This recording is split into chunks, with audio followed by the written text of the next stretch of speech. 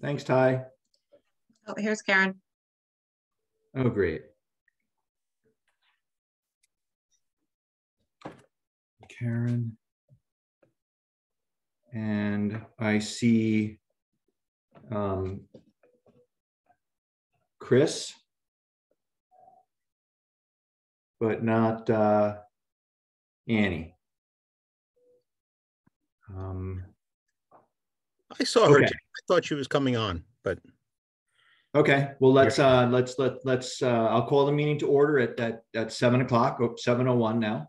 Um, and this is our regular, um, planning and zoning meeting for Thursday, February nine. Um, and um, we have, um, all six regular commissioners. Um, and um, we've got one alternate and I would uh, elevate Chris to. Let me take that back, Chris. I'm going to uh, alternate um, Anne to voting status. Um, and then I would like to move on to uh, the agenda item number three, which is uh, the next on the agenda after one and two. So agenda item three A is uh, um, are the regular meeting minutes of January 12, 2023, and I would look for um, uh, some discussion or a motion to approve. I'll make a motion that we approve the regularly scheduled minutes from one twelve twenty-three. I'll second that. Great, thanks, Adam and Wes. Any discussion? All those in favor, so signify by raising your hand or saying aye. Aye. And that motion carries. Um, uh, Agenda item three B are the special meeting minutes of January 19. Um, And I would look forward uh, a motion to approve or discussion I'll make a motion that we approve uh, the special meeting minutes of one nineteen twenty-three. And I'll second that. Great. Thanks, you too. I'm like rock stars already. Yeah. Keep it up. Um, any discussion? All those in favor, um, raise your hand or say aye. Aye. And that motion carries. And then the agenda item three C, um, the last of the minutes, which is the special meeting minutes of January 30, 2023. I will make a motion. I'll do it. Second. Oh, okay. All right, any discussion? Then all those in favor, hands or aye? Aye. And that motion carries. Great. Um, okay, uh, agenda item number four, um, public communication oral. Is there anybody um, in the group who has um, something to say about anything that's not on the agenda tonight? And you can turn yourself on or raise your hand on Zoom. Um, and seeing none, then um, then I will move on to old business. Um, but first, um, I'm I neglected to uh, um, to talk about the rules, the meeting, the meeting rules. So I'm going to do that really quickly right now. So this is a public meeting, which will be audio and video recorded, just like every other Planning and Zoning Commission meeting. Um, we ask that all um, applicants um, uh, keep your video on when you're talking um, and anybody in the public, if you want to make a comment during the public uh, hearing, um, that you uh, take yourselves off mute and turn your video on. The commissioners will, um, in in general, leave their video on and uh, turn their their their and definitely turn their uh, their mute off when they're ready to speak. Um, uh, we ask that everybody be respectful, that listen carefully, that we don't interrupt, um, that we stay on topic, um, speak for yourself and not somebody else. Um, it's okay to disagree, but remember this is a discussion and not a debate. Be candid and avoid making assumptions about other people's um, intentions. Um, so again, we'll, we will ask uh, we will ask for comments from the public um, during the um, public hearings. Okay, great. So um, public hearing, agenda item 5A1. Um, I would reopen the public hearing for application numbers 118-22SP and 117-22C. Uh, Susan Hugh and uh, Jeffrey Kane Weiser trustees of 100 North Main Street, map 19, block 42, lot 1, renovation of existing barn into a two-bedroom accessory dwelling unit. Um, And um, with the public hearing open, um, I would start out by saying that the applicant has asked us to um, to keep this public hearing open on through our March meeting um, because they weren't quite ready to come before us at this meeting.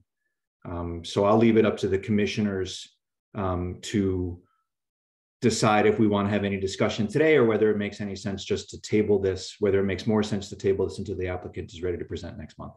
Well, I'll make a motion that we table it. The applicants aren't here. It's a public meeting. I don't know that there's, I don't think there's anybody here to provide any information um, pertaining to the application. I don't see the purpose of having a discussion about it um, in their absence. I'll second that. Any discussion from any of the other commissioners? Okay, so then uh, um, all those in favor, so signify by raising your hand and or saying aye, Aye. and that motion carries. Okay, so uh, we'll talk about this, uh, we'll talk about this in a month. Um, Let's see. Um, uh, Five B one is the application, is the discussion of possible decision on that same application. And um, I think we will um, table this as well. Do you need a motion for that? I'll make that motion. Thanks, Adam. Yes, please. Second. Great. Thanks, Wes. Um, Then all those in favor, so signify by raising your hand and or saying aye. Aye. And that motion carries. Okay, um, uh, moving on to new business. Um, so this is um, uh, a public hearing. I'm going to open the public hearing for application numbers 09-23C and 10-23SP, Kent Center LLC, um, Lee Garofalo, applicant, 9 Maple Street, map 9, block 42, lot 35, installation of EV charger. And if you give me just a minute, um, I am going to read the legal notice. Um, the town, Town of Kent Planning and Zoning Commission shall hold a public hearing via Zoom meeting on Thursday, February 9, 2023, beginning at seven PM to discuss and possibly act on application numbers 09-23C and 10-23SP, Kent Center LLC, 9 Maple Street, map 9, block 42, lot 35, installation of EV charger. At this meeting, at this hearing, persons may participate and be heard. Any corresponding documentation will be filed in the February 9, 2023 public meeting folder, which can be found here. Um, and there's a, uh, um, a web link, web address. Um, at this hearing, persons may participate and be heard. Um, so I would suggest that we start out um, hearing from Ty, if that's all right, and you could you could uh, tell us what your thoughts are, and then we'll go on to the applicant. Yeah, so this is, uh, you know, as you know, your very first application for EV chargers since your new um, regulations are in place. Um, I- The applicant actually just today dropped off an updated um, application and she did a pretty good job of going through the provisions of 8284 one by one, um, indicating how they fulfill each one of those. So um, it looks pretty good to me. Um, let's see what that you guys think. I did a staff report. I think, you know, I covered basically what you need to look at in this case. Can I ask, who does Lee, who does Lee Garofalo represent here? That she's, that she's applying to uh, put this EV charger in the parking lot? Um, because it also, it says nine Maple Street, but that's not where it's going. It's not going at nine Maple Street, but it's going somewhere else in the Kent barn. So I'm, I'm, Right, I mean, that, that parcel that the Kent Barns is on, the map block and lot are related to nine Maple Street. I don't know how you guys know it as. I know there's a couple addresses. It flipped back and forth over the, you know, when it was approved between, I think, you know, North Main Street and Nine Maple Street, so I don't know what to say about that, other than the assessor's card calls it that. Okay. So let's answer the first, let's let uh, Lee answer the first question, Adam. That's, uh, so who is she uh, applying on behalf of? Um, I- I'm applying on behalf of Kent Center LLC, the landowner. Okay. Thank you. Um, And did we get something from, uh, is, is, is Hiram still um, managing that or he's, he's, he's finished and um, there's a new manager? Is that you, Leah, Lee?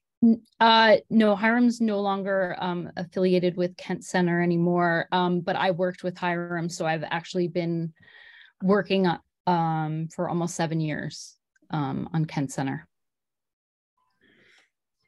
Okay, I think that satisfies the commission, right? Do we, do we, do or do we, we usually have a letter from the owners uh, um, designating uh, and uh, a representative? Is that necessary, Ty? Um, Let's see if there's one in this packet. I mean, eh, yeah, I think we need, I mean, if you're, if you're the property manager there, so, but we need something.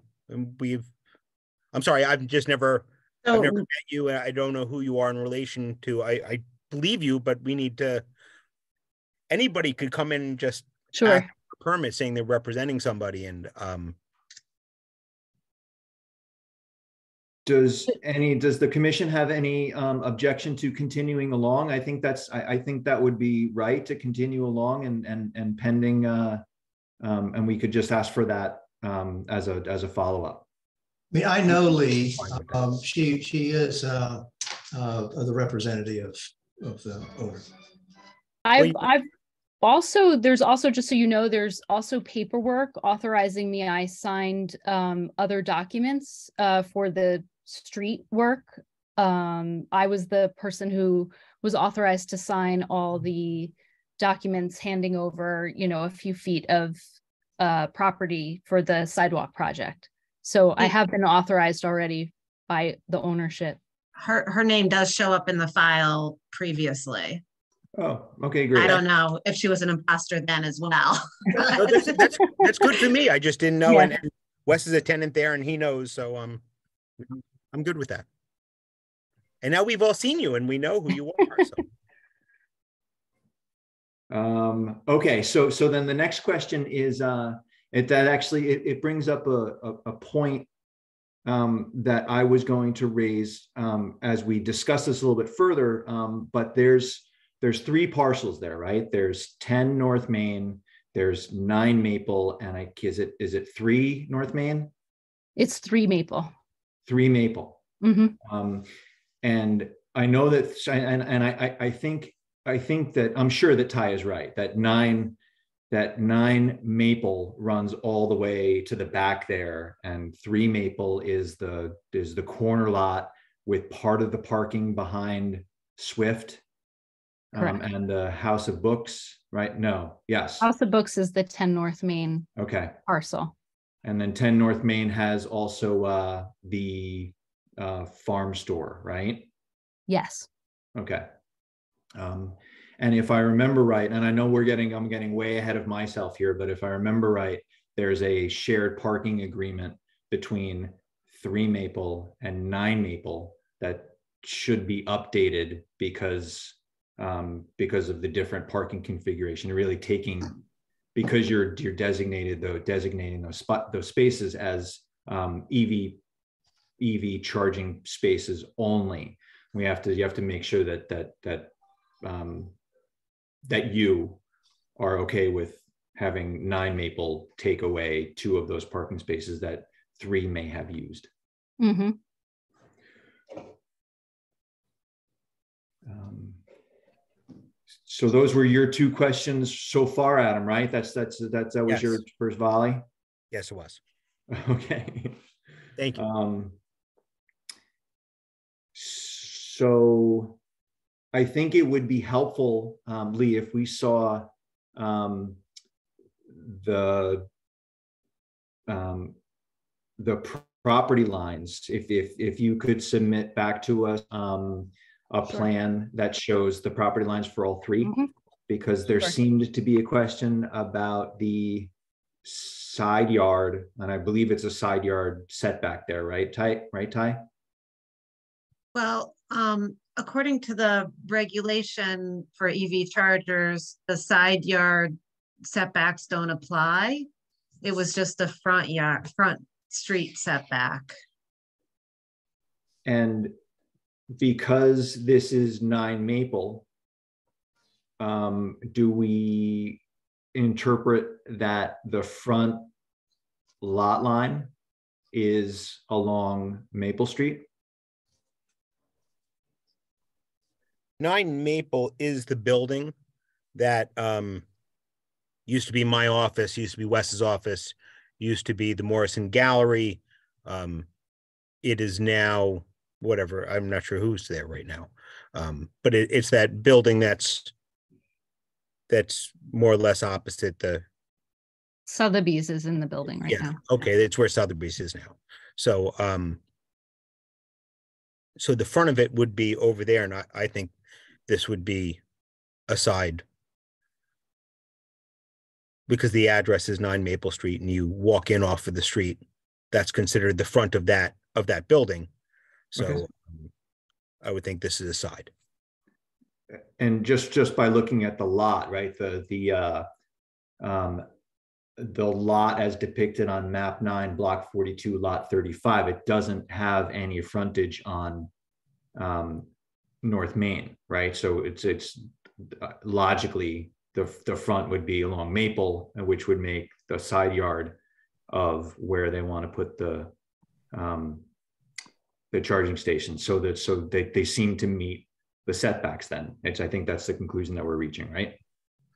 I think so. Lee, I have a question. Are these going um in the parking lot, kind of on the backside of uh of the of the barn where Yes, where Tim Sneller's office is? yes. It's Yes. going to go in behind it, but a little bit more to the right, like more towards the back. So there is no frontage there. You have you have buildings there and you've then you have Correct. trees there. hmm Um, so, uh, the information, Lee, that you provided today, Ty, did that get into the, into the, the folder late this Mhm. afternoon? Yes, it did. Um, it's, it's under, it says like revision on it. I, everything that she added today says revision. Okay, I think, I. I think I got those then. So revised Kent Barns, revised, revised. Okay, fine. So that was at, uh, that was at twenty after three this afternoon. That was, uh, you think I have the, the most recent? Yes, yes. Okay.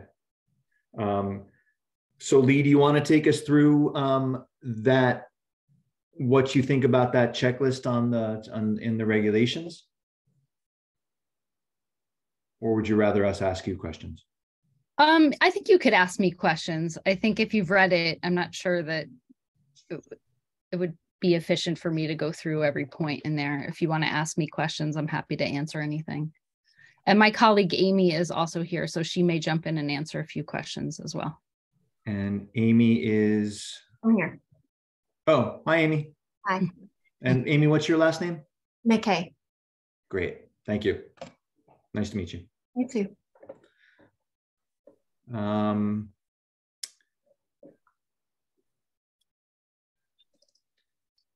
so I am going to open this up.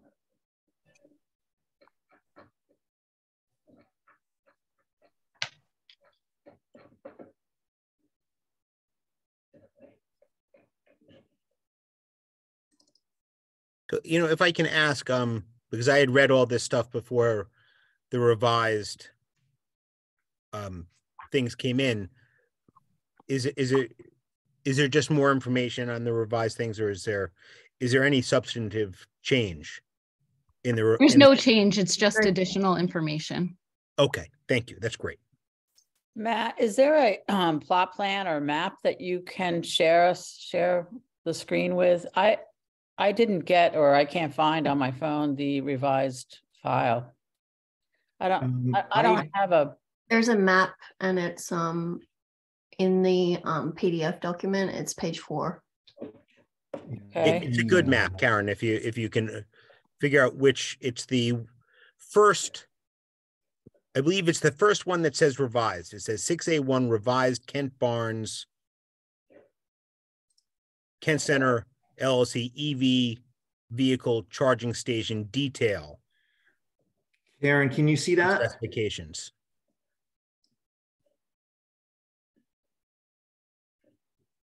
I might have lost, uh.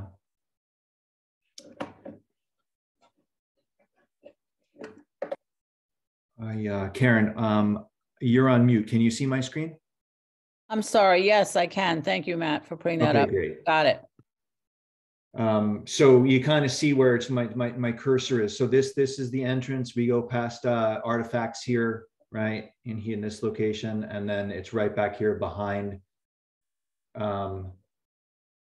Uh, eighteen is the, uh, eighteen is the barn, right? Or six, no, sixteen is the barn. and 16 is the a barn. Smaller shed. Mm-hmm. 18 Uh, is a smaller shed on a different um, property. Okay, thanks, Lee. Um, and this actually, th- this actually does show, if, if I'm, if I'm correct, that this, these are the lot lines here that I'm tracing here, right? So this is ten North Yes. Main, Mm-hmm. and this is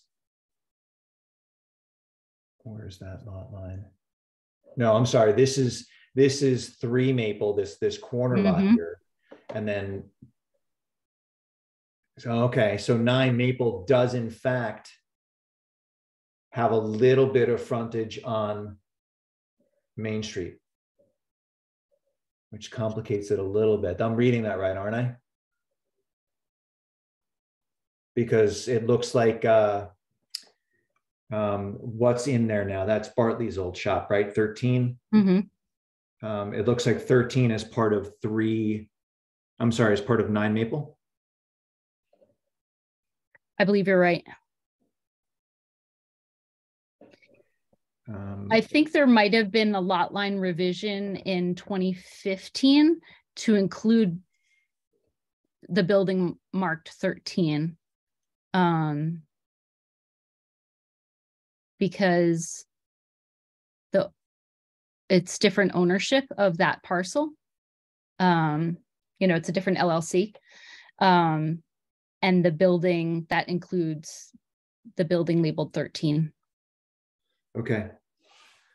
Um, does this, does this configuration that we're looking at with that, with that small frontage on Main Street change the opinion of the commission that, um, that the front yard should be as depicted, um, the front yard should be along Maple Street. I mean, that's, that's, that's how this, the, the, the, that's how the setback is set on, on nine Maple. At least to me, because So Matt, when Nine they, Maple used to be my office and, and the next building was also, it was, um, I, I do think that they are, it's a Maple Street address and the frontage is along Maple. At Wes, least- you started to say something? well, I think I remember this because I was associated with uh, Swift. um, That there was a lot line change. You can see where the lot line is. Yeah. Uh, And um, um, I think the yards are exactly as you say. I mean, I, I don't have any con, uh, uh, misconception that Maple Street is not the, not the front. Okay. That's great. Any, any, any of the other commissioners um, have any other um, ideas or comments or thoughts? Um, And then we can um, put that, I think, discussion to bed. Okay. So um, we're, we're back, we're, we're back, we're back at the, at the, the, the setbacks, the, the setbacks as required by our regulations are satisfied. Um, Lee, did you in the new plan or sometime in from, the- from the first submission to the next or this latest submission, add a, a bollard or had that bollard always been there? The, the Uh, parking bollard in between the. The bollard was added, Okay, correct, Amy? Well, there's always plans to do something to, um, you know, we put, we basically, we put more detail on with reference to the bollard in this plan.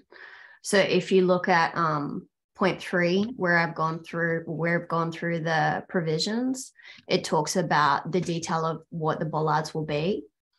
Um, and then if you're going through that same document, there's also Page six. page six has detail on the bollards um, and where they are.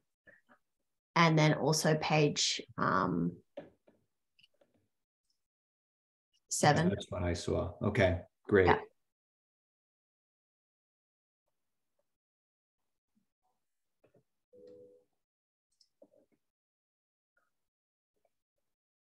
Okay, so there's the bollard there, which is, which is one of what was one of Ty's comments from her initial review. Mhm.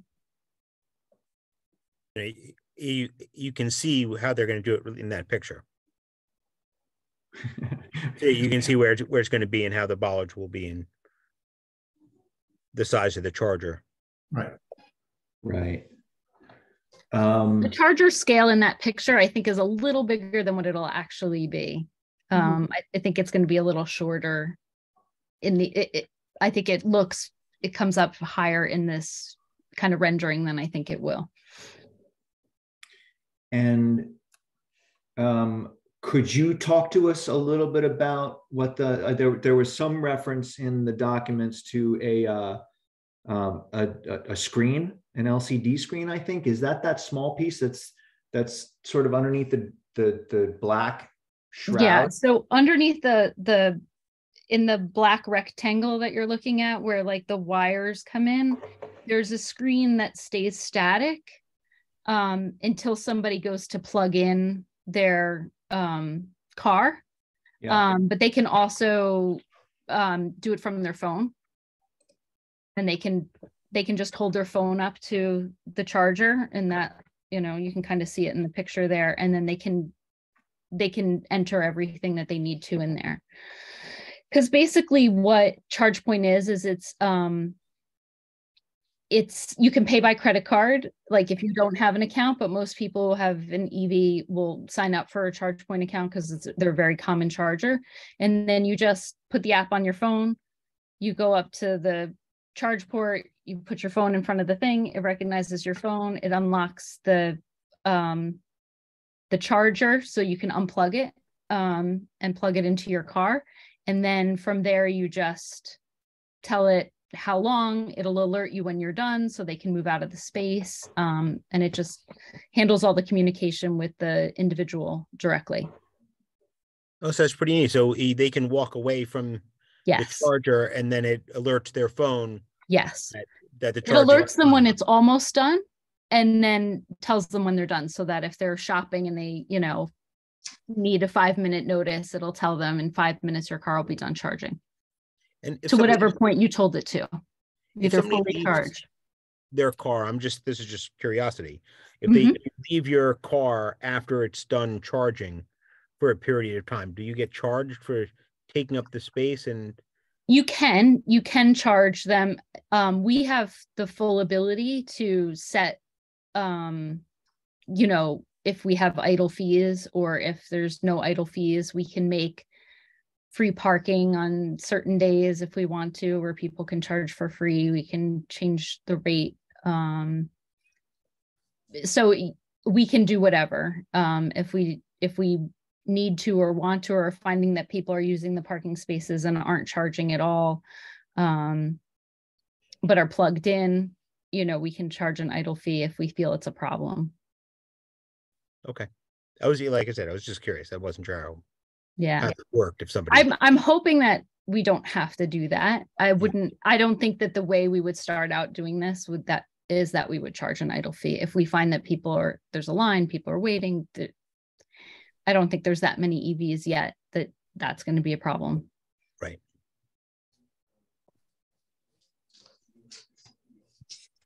So two- would, oh, I'm sorry, Lee? No, no, I was just gonna say two, two cars can charge simultaneously on this one charger. And it's a level two charger. Yes. Um, does the commission feel the need to go through the um, 82, 84 provisions that the applicant has uh, responded to? I- I don't feel the need to go through it all. But um, I don't know if anybody else does. Um, It, uh, it looks like a, a complete application to me. Um, I think that I would, um, uh, sort of retract my, my, my request for a, um, a plat showing the lot lines because I think that the, uh, I think that that, um, um, that map in the application, um, shows the, the lot lines well enough. Um, and uh, coupled with the discussion that we had, I don't think I need that. Um, I do notice in the picture that we're looking at now that uh, the, the parking spaces are not delineated. And I know that, I know in some cases over there, there, there, there are, there's line striping. Um, but I suspect that the line striping is hard to maintain because of the, uh, the, the oil and gravel nature of the parking. Yes. That's only handicapped or indicated. Only handicapped are indicated now. Um, so it, it seemed, it, it, it makes sense to me um, that these spaces, well, let me ask, let me ask it as a question. Does it make sense that these spaces are, are delineated more than what would be indicated with the two bollards and the, and the, and the charging um, uh, pedestal?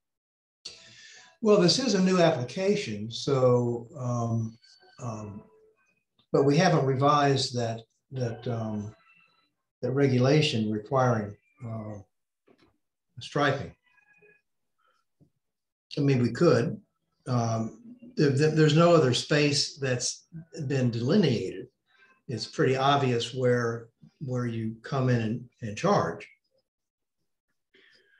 See, I, I think that, that if they find that people are, I mean, I see the value of, of striping it and I think I would want to do it, but it's their property and I, and though I see the value of it, I think if, if they find that people are crowding the, the spot, so somebody can't, two people can't get into charge, then they're going to put lines in. And if that doesn't happen, then they won't. But I, I don't know that we have to require them to do that. Um, Well, what also- happens if somebody just parks there?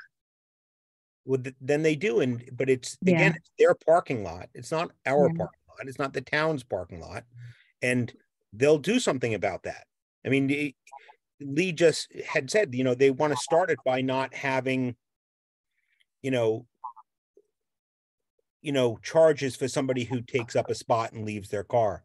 But if they're finding that that's an issue, they'll address that. I I think that's something that the owner owners can address, and I don't know that that we as the planning and zoning commission have to address whether they put a line lines up for their EV charger. And it's not our job to police or even be concerned if somebody parks and blocks their EV charger, because it's not our EV charger. It's just their EV charger. Yeah, you know, we, uh, I, I, I tend to think that we should, that, that the parking spaces should be better defined. And like Wes said, we haven't done that in our regulations, but I don't think there's anything to say that we, that we couldn't define these parking spaces better. And we were just looking at an application, the ARB was just looking at an application the other night. Um, or a revision, a possible revision to an application. Um, and um, we were talking about, they were, they were talking about uh, wheel stops, right? The, the wheel stops that are, you know, eight, eight, eight and a half feet long that fit within the, within the space. And on a, on a gravel parking area, those seem to be a good way to delineate parking spaces. Um, so I would not be, I don't, I don't think it would be a burden, a financial burden. Um, to identify these spaces with wheel stops, with, you know, concrete, concrete wheel stops. Um, I don't, I don't like, the, I, I mean, personally, I don't like the, the, the, the, the poly plastic ones that are painted yellow, but I think it's, I think a, a precast concrete um, uh, wheel stop here would be appropriate. Would you want that instead of the bollards? I think you need, I think you need the bollards to not run afoul of the regulation, the, the 82, 84. Um, the 8284 um, allows for um, a curb and a wheel stop. So it, it allows for a curb in lieu of bollards if you have wheel stops as well. Um, it's really just something to stop people from driving into the into the the charging Mm-hmm. mechanism. Yeah, I think Uh, the bollards protect your unit. I don't think the wheel stop necessarily does. Right. There's a lot of Right. larger vehicles. If somebody's backing up, not even to park there, you know, a truck has has five feet Sure. or before, you know, so they'll they'll hit that charger before they get to the wheel ch- the wheel stop.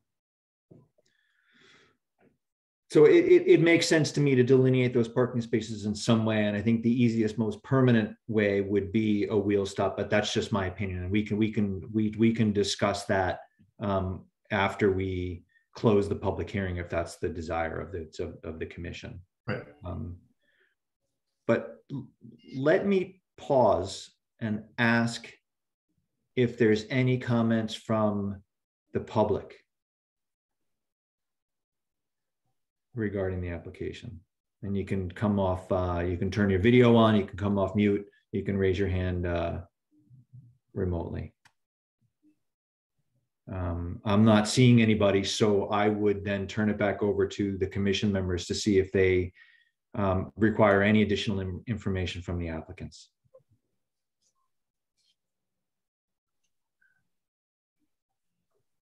I think the application is very complete. Um, and in terms of location, it couldn't be a better location. Uh, I agree, Wes, and it, it, it, it fits squarely within, um, within the ideals of the plan of conservation and development. Um, and I think the ideals of this, of this commission. I mean, not to speak for everybody, but We, that's what. can I, can I ask you before we close the public hearing, um, you don't have any problem with us requiring, with our requiring you to put in wheel stops? No, that's fine. If you need us to do that, we can do that. Okay. I just haven't looked into it, so I don't know. Um, I don't know how long it will take to get. I don't know how much they cost, but we'll, we can do it if that's the requirement. I suspect that they are available uh, um, uh, through any precast concrete, uh, Target in Tor, in Torrington, near Torrington. Or I, I- I think they're available. Okay, I, I agree, and I think that, I, I think, yeah, the, the financial burden is, uh, it's, it's, it wouldn't be a financial burden. No. Well, I shouldn't say that. I don't think they're very expensive, is what I should say, sorry. I just, I want, I just wanted to ask to, because we're gonna go into, when we close the public hearing, we can't ask. I thought we should, because I think it's a good idea, you know, so. hmm Okay, so um, if there's no other information that we require of the applicant and there's no public comment, I'm just gonna pause here, just make sure that nobody is just Can you- off the couch. Can you unshare your screen? Of course, yes. How's that? Thank you. My pleasure. Um, Then I would look for a motion to close the public hearing. I'll make a motion that we close the public hearing. I'll second that. Great. Um, Any other discussion? All those in favor, so signify by raising your hand and or saying aye. And that motion carries. Okay, great. Um, So now, um, the next item on the agenda is um, six B. And this is the discussion of possible decision, six B one, application numbers 9 twenty-three C and 10 23SP, Kent Center LLC. Lee Garofalo applicants, nine Maple Street, map nine, block forty-two, lot thirty-five, installation of EV charger. Um, so I would look for some discussion amongst the commission. Matt, I have a question. This Alice, can you hear me? Yes, Alice, hi. Um, for since this is kind of our one of our first uh, shots at this EV business, um, every time that an EV a charger is erected or installed or whatever you call it, will we be having this discussion every time? And if so, then mm, are we setting precedent by requiring what are, what do you I, I call them lines you're calling them what are these tire things whatever you call it um, are we setting precedent by requiring something here we wouldn't require somewhere else eh, eh, is my question clear i'm, I'm not sure So I think we've set it up that way to be site specific. I, I, I think it's site specific, not. You do. Okay. I just I just wanted to be sure that I understood that that it will be it's not a you know same same place same everything everywhere. Like this place because I I feel like I know it. I can I can see we don't need a lot of lines and fences and all of that kind of thing. But there could be places that you could imagine somebody backing right into another car or something. Right. You know that. Um, so so Wes, you answered my question. It's we will have to do site specific consideration. Okay. And and it's a special permit, and that Yeah. that allows us to do that. Allows us to look. There may be another another place where where we don't feel it's necessary to put um, Yeah. to put that in. But in this case, I I do think it's a good idea, and it delineates for other people where somebody should park so they can use Yeah. the truck. No, I I I- I'm just wanted to clarify in my own mind that that's what that's way we were headed here. Okay. Great. Um, Anybody else? And so, so we, we think we, we're satisfying the needs of our um, regulations with regard to EV chargers. Um, We think we're satisfying our regulations, or do we think we're satisfying our regulations um, with regard to the special permit? I do. It seems like it it matches what Mhm. what we've written, and it seems like it matches what we want. You know, and we we want to encourage EV chargers. It's um it's in a good place. It's close to the center of town. Um, it's an easy place for parking. I think it's a. I don't see any problems with it from from what I've seen and what I've read in the in the uh, regulation.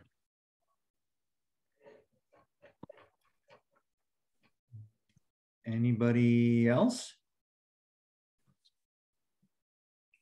Well, in terms of parking, I, I don't think that these designated spaces will interfere with traffic, uh, with, with parking at all. I can, I can testify that, uh, the, the, the parking is, is not well utilized behind there, except maybe on the weekends.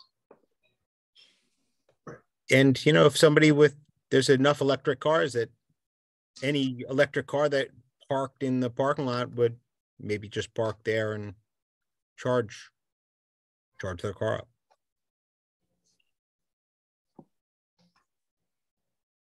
Um, I do think it's important to, uh, to have an updated, uh, shared parking agreement. Um, because there is a shared parking agreement between, um, nine and three, nine Maple and three Right. Maple. Um, which somewhat excludes ten North Main. Um, so, uh, I, I would like to make that a condition of approval, um, just that we receive it before we issue the, uh, um, uh, the, the zoning permit. I think that's a good idea. So with that, I'll make a motion to approve application. uh, Wes? I'm sorry to interrupt. We need, uh, there- there's, there's Oh, a the couple of waivers. waivers that we have to uh, waivers. accept. Yep. Um, So I'd look for that motion first.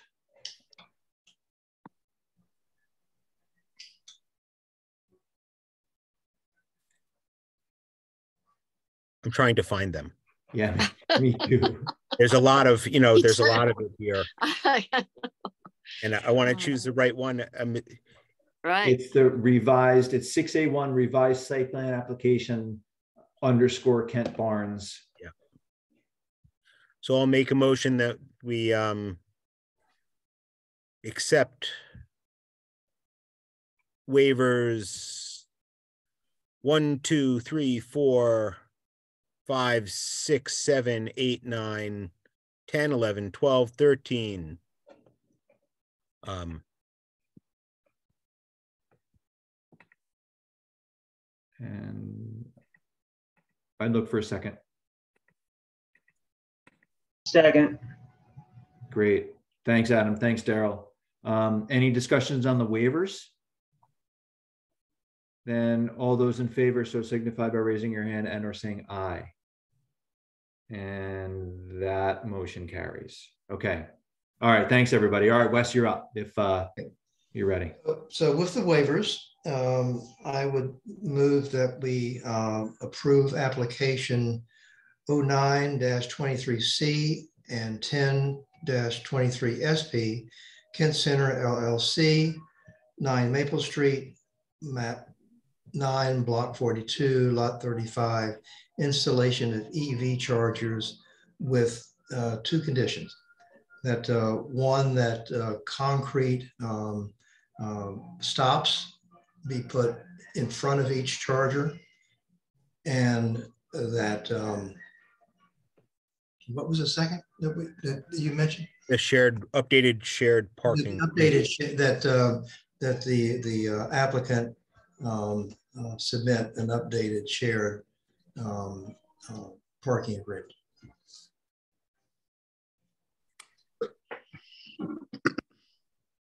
And a second. Second, second, Okay, great. Adam beats to it, Daryl. Um, early um, bird gets the worm. Any more discussion? Um, all those in favor, so signify by raising your hand and or saying aye, Aye. and that motion carries. Um, okay, so, uh, so Lee, you'll get in touch with Ty and she'll let you know what the next steps are for, uh, um, for what your next steps are before you can get started? Sounds good. Thank you. All right, thank you. I think, you know, I think, uh, it's, thanks for putting together a, uh, a, a well thought out and complete application. It makes our job easier. Thank you. Okay, so then, uh, um, let's move on to agenda item six B two, um, which is the application number zero five dash twenty I'm sorry, let me start over. Application number zero five dash twenty-three C, Kent Green LLC, John Casey applicant, for Landmark Lane, map, map nineteen, block forty-two, lot forty-three. Uh, change of use from artist studio to retail. Um, and I will turn this over really quickly, I think, to Ty to let us know if there's any, any concerns. um, Or if there's anything you want to tell us. Yep, no, no concerns. I suspect that you've been th- through this quite a few times. Um, just, you know, a basic change of use in that area. It sounds like this business is already there. It's just moving to a different unit. I believe John Casey is on to talk about it a little bit more. Hey, John, you want to jump on and, uh, and, and show us your handsome face and tell us what you, what's going on? Well, I don't know how to bring up my uh, handsome face. I just unmuted and I think that's all the technological chops I have right now. But um, having said that, the uh, tenant uh, who was in uh, number, building number 12 at Green Pastures Lane uh, expanded twice and then uh, had to move out of the building to a larger headquarters. Their business is doing really well. And uh, they, so we had a vacancy and they moved from 2,000 square feet into 3,000 square feet, about 80 feet away. And um, nothing much changed for the business except they had more room. And um, I, I think it's a compatible use. Uh, again, they were approved three years ago as a tenant for the same use. They're just doing it in a little bit larger way.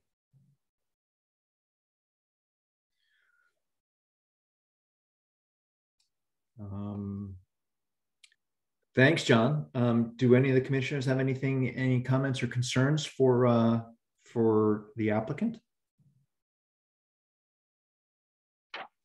I'll make a motion that we accept application 5 twenty-three C Kent Green LLC for Landmark Lane, map nineteen, block forty-two. lot There were 40. actually, I'm sorry to interrupt, there's waivers as well. for those. Oh. Uh, waivers, I, I, I can't tell you, uh, what they are offhand. I honestly don't remember. Um, but nothing physically is changing on the envelope of the building. We're not removing any soil from the, you know, from the site. Everything is built and has been built for many years. So there would be no apparent change, uh, except for a sign on the door to anybody, you know, who witnessed this, this move across the parking lot. But so, well, there's uh uh, you're asking for waivers on three, five, six, seven, eight, nine, 10, 11, 12, 13. Um, I make a motion that we accept those waivers. Second. And second, Second. thanks, Wes. Did I miss that? Uh, anyway, um, thanks, Adam. Thanks, Wes. Um, so with regard to the waivers, are there, um, any, is there any, any more discussion? Uh, Then all those in favor, so signify by raising your hand and or saying aye. And that motion carries. Alice, you and I on that? Oh, sorry. Okay, great, great. That motion is so, so yes, everybody's voted. Um, and then now for the motion, Adam. I'll make the motion for applicate, that we accept application 5 twenty-three C Kent Green LLC for Landmark Lane, map nineteen, block forty-two, lot forty-three, change of use from artist studio to retail. Second. Great, thanks, Wes. Thanks, Adam. Um, any further discussion? Then all those in favor, so signify by saying aye or raising your hand.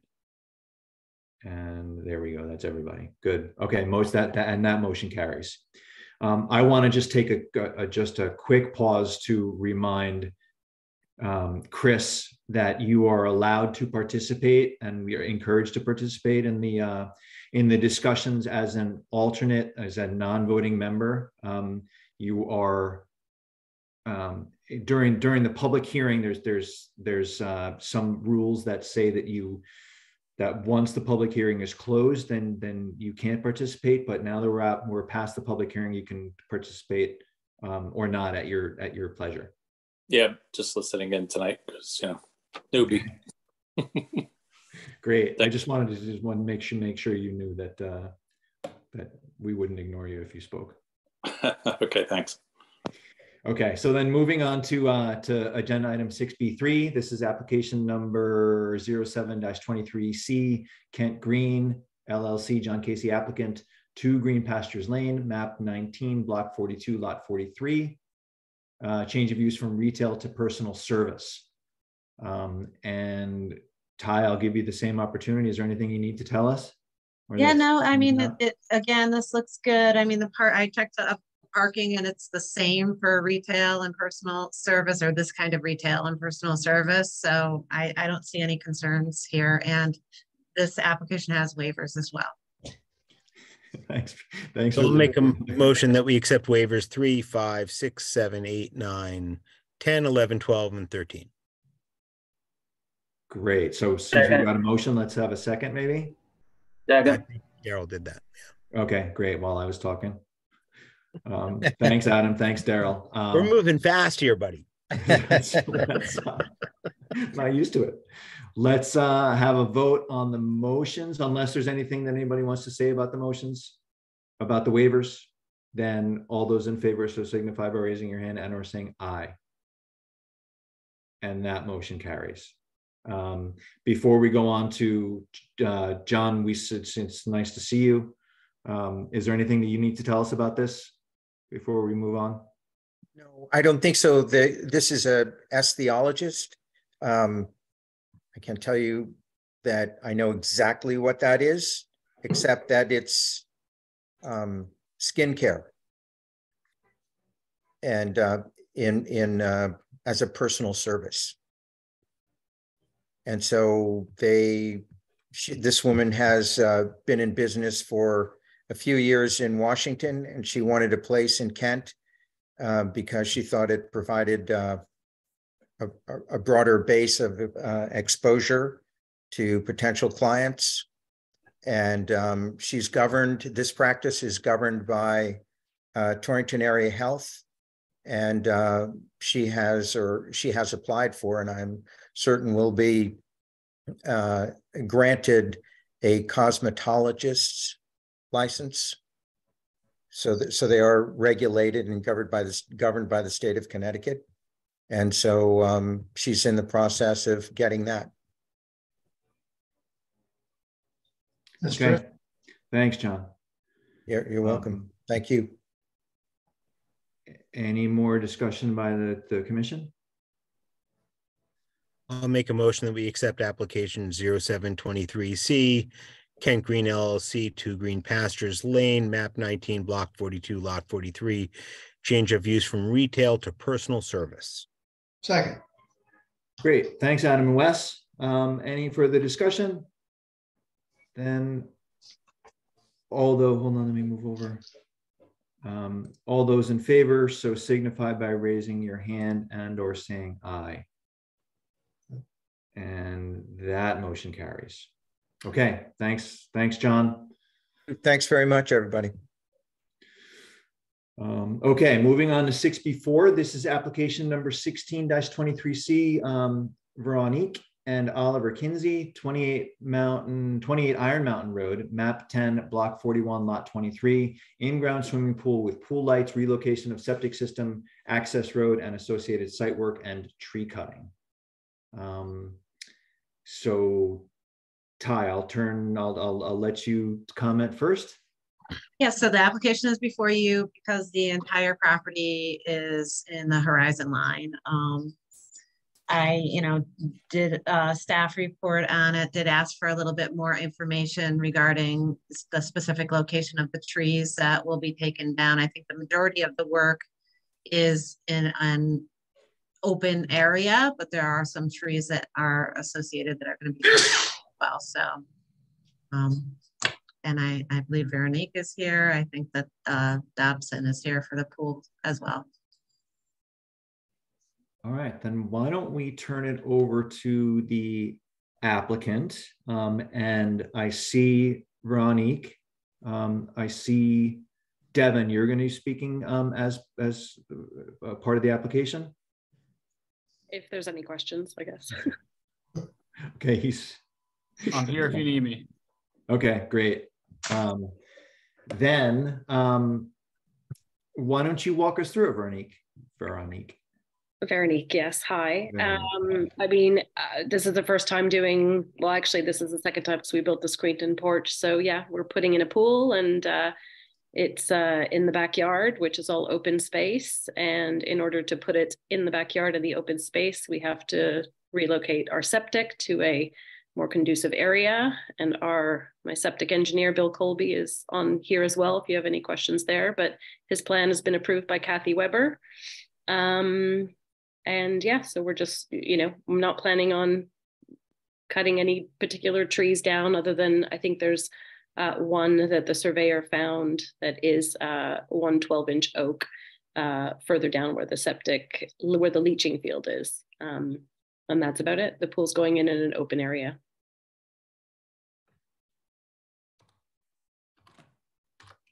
How is the grading going to be handled? It looks like it's fairly steep there. Um, where the pool location is, it's, uh, I think it's less than a four foot difference. Yeah, Wes, good question. We're gonna, you know, like any project, we're gonna see how much dirt we take out of there. Uh, there very well could be some ledge rock, so we're not really sure how much uh, fill we have to play with, but we'll certainly be grading that on the downward slope. Right, the, um, the contour intervals on this, uh, map are what? Or are those two foot con? Contour intervals uh, on the, on the map that you submitted? Um, let me, it's very small, let me open it up.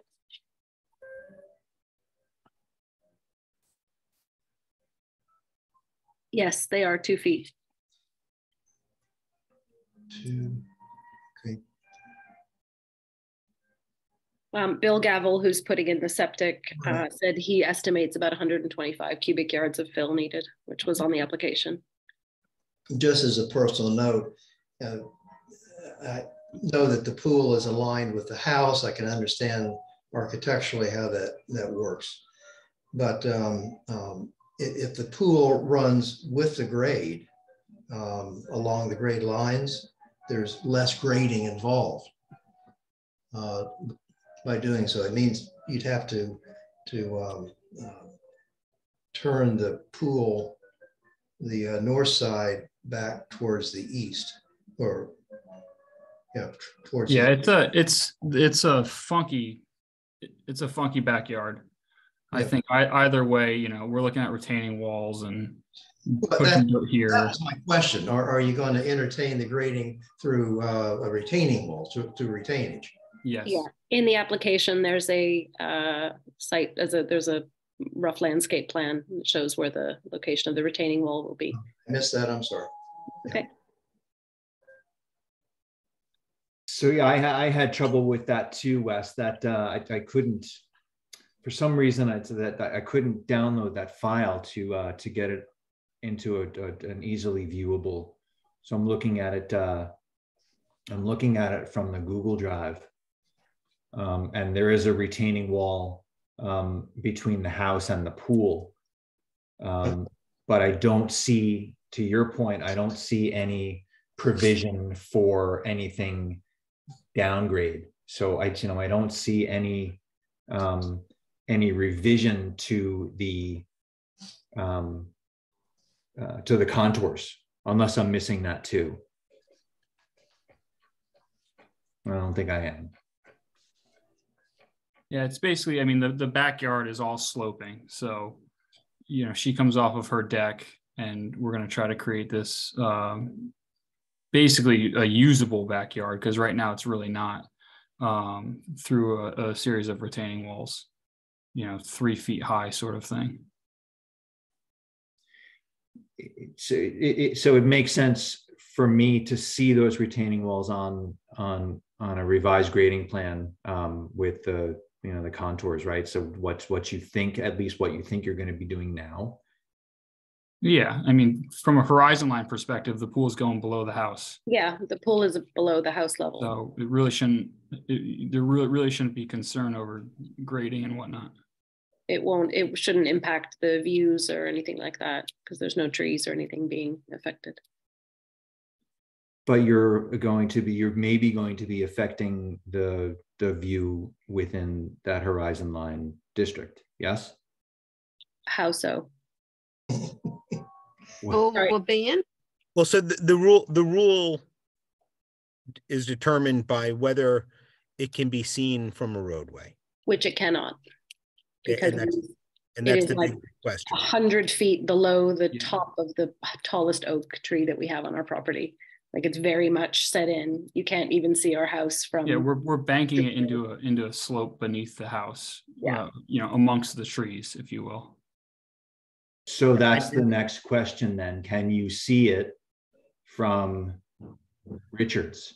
No, you Or cannot. No, You can't even, you can't even see our house from Richards Road. the only place that you could, I didn't drive up Iron Mountain Road to look. That would be the only place that you could possibly see it, and I don't think you can see it. From From a- where? from. Well, Iron- as You can't see our it's- backyard from I- Iron Mountain Road. You cannot Devon, see our you're, you're down the hill, right? Yeah, our house is at the top and then everything it's else is, everything else is subterranean from the house. But Matt, there's no higher point that you could, that you can see down, down there at all. Mm. Not from Richards and not from further in either direction. Yeah, and, and, and, and what I'm understanding from that is you see, you, from looking up, you can't see either, right? So, so I mean, that, that's really what, you know, looking down is, is, is one thing when you're on the top of the hill, but all, all of the, all of the, the other people. No one can look up and see, see no one can see our backyard, our deck, our house from Richards Road or Oak Ridge or South Spectacle, any of those. You cannot, you can't see us, even in the winter. And what about the little bit of clearing that you're doing to relocate the septic field? Um, you know, you, mentioned that uh, the, the one 12 inch oak is that is that potentially visible? That that removal visible from anywhere? Oh, We have hundreds and hundreds of huge oak trees in our backyard. Um, I don't believe that one in particular. We have much, much larger ones in the vicinity as well that are, will not be affected. Um, again, the surveyor noted the one particular tree. Uh, I truly do not believe that it will have an impact on the overall. Tree Right, that's not the question. The Okay. question is, can you see that tree um, from anywhere, and will that? Um, ca- can you see it? I mean, it's I, I understand that you've got you know thousands, maybe millions of giant oak trees up there, but you're in the horizon line. How would you be able to identify that particular tree? I just, I'm asking because I don't know how I would be able to say whether or not that particular tree would be visible from Richards Road or Oak Ridge. Yeah, I mean, it's, it's Like it's not a, it's not a distinctive tree. It's not like the one spruce. It's not the one giant elm. I'm just, I'm not can't- sure how I would find that one. You can't see it. There, there's hundreds of trees on a similar grade in front of it. It also goes just the property, um, the, the house is here, it goes down, it goes down another level, which is roughly where septic is, and then it goes down again, and then it goes up a little bit and then down all the way down to Oak Ridge. So I'm not sure exactly where this is, but it doesn't fall at a high point. Like I- that, To be honest, Matt, I, I, I would have to drive out there to look. I, I really meant to do that today. Um, and I just kept forgetting to turn down there, but, um, I, I don't believe, I honestly don't believe you can see it from anywhere, but I couldn't tell you that you can't until I go look. Well, I've, I've been up there. I've been up there. Yeah. It's very private. It's very private. I've been up there. I don't think you can see it. I think in this scenario, putting the pool in an already disturbed location from the septic and shifting the septic is probably better than leaving the septic where it is and trying to install a pool further down. I, I think putting a pool anywhere else on the site would probably be more disruptive than installing this septic system at the lower elevation.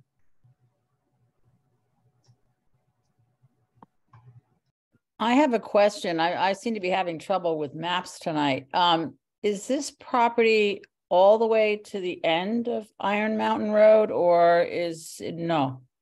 it's where. Let me- I'll share my cur- screen, uh, Karen, and show you where it is on, on the. Thank Google you. Maps. Yeah. It's, it's after the curve, Karen. When you go down Iron Road, Iron Mountain Road, the road curves to the left. After the curve on the right, it's this. It's the second to last property on the right, not including the one at the very end of the road. All right, Karen, can you see my screen now? I sure can, and that answers the question because I walk Richards Road frequently and I do see a house, but I don't believe it's this one. I see the one that I think is all the way to the end on the same side of the street. Oh, this one. Yeah. Just that, I just wanted to know. Okay. Yeah, and it's really it's it's it's it's uh it's it's really just a question of what is that what does that view shed look like now and what is that view shed going to look like after after the project is complete and it sounds you know it's it sounds like um, the pool, you know, certainly the pool is going in, in, an, in an undisturbed area. Um, and if you can't see it, then then we shouldn't worry about the retaining walls. I mean, I mean, for you to say that you don't have to show me the retaining walls is a little bit, you know, it makes me a little bit irritated. But I understand it's a cleared space. Um, and what I'm understanding from the um, from the balance of the commission who are familiar with that view, um, that the at least the indication is that the that that the oak tree removal um, will not be visible or should not be visible or won't amount to much. If they, say, is, that- is that what I'm understanding from the from Wes and Daryl? Yes. Yep. Veronique did um, share some pictures that are in the file as well from the bottom of her property, kind of looking up. I don't know if that would be helpful to you to get an understanding of um,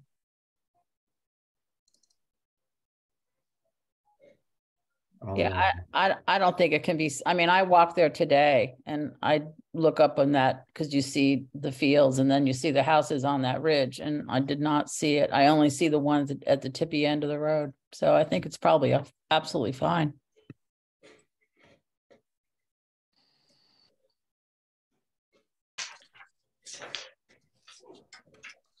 Um, so these are the pictures that Ty was just, this is, this is a picture across the backyard, is that right? That's essentially where the pool is going to be. Yeah, right. Um, just to show you that it was an open space and you can see the density of the woods beyond, um, just to give you a sense.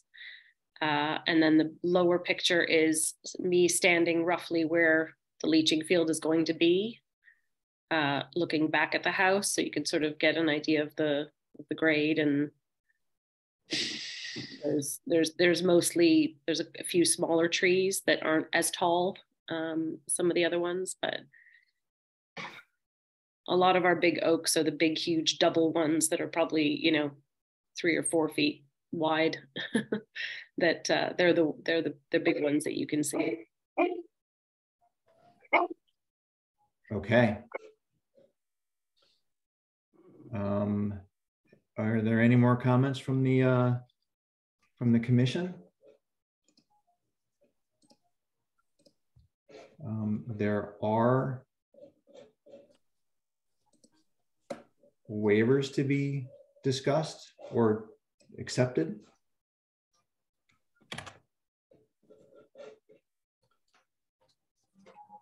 Um, This is the one that I had trouble uh, downloading. So yeah, the waivers would be on the on the um, six before horizon line dash Kinsey 28 Iron Mountain file.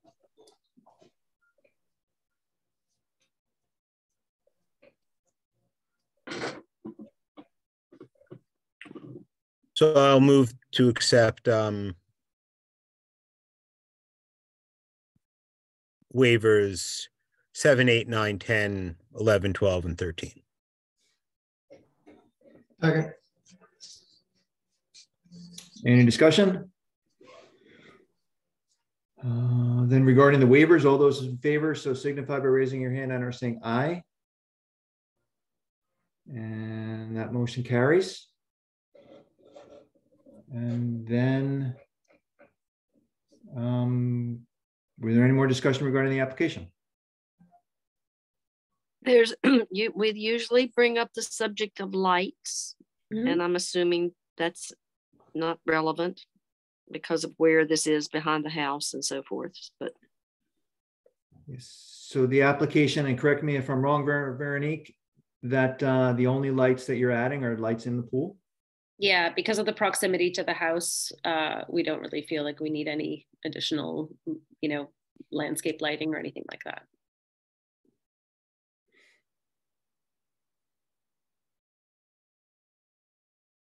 Then I'll make a motion that we accept application sixteen twenty-three C.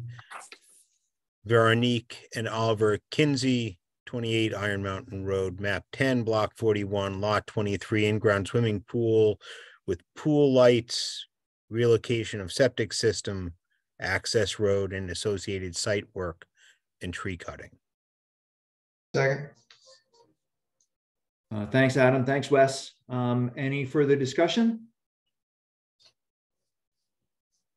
Then I'll call the vote. All those in favor, so signify by raising your hand and or saying aye. Aye. And that motion carries. Okay, Thank you very much. Thank thanks, you. everybody. Thanks. Have a good night. Um, all right, so we're gonna move on to agenda item number seven A, which is commissioner training. And, um, so this, this, this falls out of the, the, um, oh, I just, the word just flew out of my head. It falls out of the, uh, uh, the new law that says that we have to be trained. Yeah, the new, the new legislation requires that you get four hours of training in by March first, two thousand twenty-four. Uh, one of those hours has to be with regard to affordable housing. Um, the COG, the, um, the Northwest COG has been sending out some information to kind of be a little bit helpful and give you some different, um, training opportunities. I don't know if you guys have taken advantage of all the classes that you can clear. Um, usually that's the first step of when you become a commissioner. Quite often you do that land use academy. Um, so some of those things might be redundant. but There's other things out there that we're looking into. Um, Matt and I had a little bit of conversation about maybe having Tom Hennick come in and do an FOI session. Um, this wouldn't just be for you. The ZBA members also require that training, so we can do like a group thing. Um, and I believe he offers that free. Um, also, we have, you know, Mike Zizka, we have a, you know, wealth of, um, experts that we can, um, ask to come in and do training sessions as well. So, um, as long as you put in the hours, um, really the selectmen just have to sign off at the end. This, you know, to send in the confirmation. Um, so there's a variety of different ways we can achieve this. You guys are super busy right now. You've got a lot of things going on. I was kind of thinking that maybe once you settled down a bit, um, after the regulations and the, um, new subdivision regulations are done and zoning regulations are done and I don't know, you have lots of special meetings going on all the time. It seems like a lot for you, but, um, maybe the second half of the year will be a little quieter. Does, does past training that we've had count? Or No, it's no, eh, no, Unless you've done it between, you know, since the first of January, since the first of this year. yeah. No, it's been a few years. This is like continuing education. Yeah. It's required for pro- professions. Yes, And what's the consequence if you don't do it? has not been any consequence that has put- been put forth yet, so um, I think they're still thinking about that. The legislation just requires it. They haven't said what would happen if you thumbed your nose at it. Bet they do. And we, we are on our own recognizance, Wes, on that. So it's, We are. it's- we You're we right. just have to tell Ty that, Just like continuing education. That's Yeah. right. We tell Ty that we're done and Exactly she says, okay, we're done. And she says, once we're all done, she tells the, the, the, the select board that we're, uh, that we're all up to date. Oh. Um, our, um, our, what do you call her? Our ex facto member? Ex officio. Officio. Ah, there she is. Sorry, I've been multitasking here in the background. Um, got up. So I was down a bit of a sustainable CT rabbit hole. Um, I don't know, a couple of weeks ago, last, I don't remember at this point. Um, and ended up on the clear site and saw the land use academy and um, took a couple of the initial modules that are like self-paced and it was super doable. Um, I was I was surprised. And then I signed up for the three module advanced one that is sort of a live Zoom. And they had one, um, the one just today that was four to five thirty. Um, and again, it was super use super doable. So um, and they record them. So now you wouldn't need to go to a live one. You can just go on the website and watch them anytime you want. So just wanted to offer up sort of the the the less onerous side of of this onerous task that is now before you all. um, for the already huge commitment that you make to these commit commissions, but it, I, I was pleasantly surprised that it was um, more doable than I thought. and I have come away obviously with a huge, huge wealth of information. It's been great. So just wanted to offer that up. Thanks, Jean. Yeah, so we uh, the majority of the of the commission members have taken that that uh, um, and we did it live. You know, we did this you know many years ago, right? So we took it. We went um, to the Clear wherever it was over in Torrington when we sat down um, and we took the basic course and some of us took the advanced course um, in person too. So I agree, Jean, that they're that they are uh, um, they're good to do. Um, I think I would suggest that we all do them again. And as Jean says, they're they're really easy to um, they're re- really easy to, to, to to flip through and get a refresher on the basic. Um, and uh, my plan is to take the advanced sometime between now and you know sometime now between the summer to retake that. Um, but Ty, I think you're absolutely right that that let's uh, for a, for a formal in person um, maybe uh, um, let's wait until the fall, you know, late until September, October, maybe. Yep. You know, after the summer, but before hunting starts up again. um, Sounds good. Any comments or questions from the balance of the commission? Um, all right, so then I'm going to move on to um, if I could just interject, um, Sure. you, you missed one item on the agenda, and this might be a quick, good time to just loop back to it. Five B two was the regular member vacant position. I don't know that you have anybody to put forward, but I just think you should acknowledge it. Thanks, Ty. Yeah, I definitely skipped right over that. That's a nice catch. All right. Um, does anybody have anything to say about filling that that vacant position? I know that some of us, um, some members of the commission have been thinking really hard about it. Um, others have been thinking about it in passing. Um, does anybody have any comments at this time? Uh, I, will say that just need a little more time. I've got some really interesting leads and working on a number of people and um, not ready to name anyone until they're ready to be named, so to speak. Um, but I, I'm very optimistic we're gonna find some really dedicated people. I don't know if that help. I don't know if that helps, but I am definitely on the path to finding something. Thank you very much for doing that, Alice, for spending the time that you're, you're spending on trying to find us a, a good candidate. It, it takes some education and I um I think um you know this is an advantage of Zoom that if someone is out there right now they could be listening to this evening and learning and seeing firsthand what we really do well because when I joined there was no such thing you had to just hold your breath and jump in and um, besides taking the courses we just talked about. Anyway. Great. Thanks. Um, all right. Getting back to our regularly scheduled uh, program. um, uh, agenda item eight report of officers and committees 8a um, resolutions denial versus approval so this is on the this is on the agenda because um, i wanted to make sure that we were all on the same page with regard to um, how we handle resolutions on somewhat what what i term major applications um, ty do you want to do you want to jump in and, and talk a little bit about Sure. where we landed Yeah, sure. Um, so Matt had asked me, you know, what I what I've done in the past or what I've known of in the past, and I kind of pulled out a portion of Robert's rules just to kind of back up what I've known. So generally what traditionally happens is that you always offer up your positive motion first.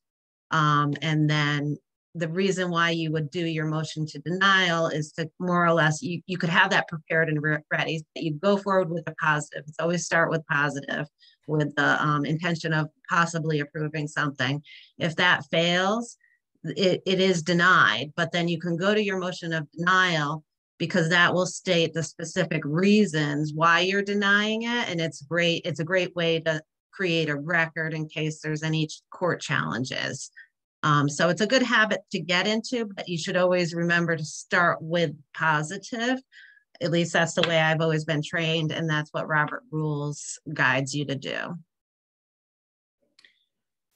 So thanks. That, that's that that's great, Ty. And you know, sweet. I, I, wasn't quite sure that that was what you know that that's that was the deal. Um, but I definitely, after having conversations with Ty, I think that that's. Um, I think she's absolutely correct. Um, but if you would humor me, um, I would like to share my screen again and talk through these 10 items. Can everybody see that okay? Kind of small. That's it's very small. Right. See. Can you, uh, yeah. Um, well, this application, I don't know how to do it. You know what I could do is, uh, should be control plus. Hey. wow. There is happy to serve. awesome. Okay, is that better for everybody? Yeah. All right. So what what I what we started out by saying is that uh, and where we are somewhat landed was um, a suggestion of standard operating procedure for the commission. Um, so number one, is when requested by the commission, the land use administrator will prepare a resolution of approval. Um, this request is generally made in cases where commission feels that it's necessary to add conditions to the approval of an application. So that's one. It doesn't always get done, but it gets done when any of the commission, when any commission member believes that it's that it's it's uh, would be helpful, then we can ask and and Ty will um, prepare the resolution of approval and denial. Uh, resolution of approval. In most cases, this is number two, when a resolution of approval is requested by the commission, a resolution of denial will also be prepared. Um, and this is what, uh, you know, we, we had this situation just recently with the uh, major home occupation where Adam asked for um, and Ty prepared the resolution of denial prior to the meeting.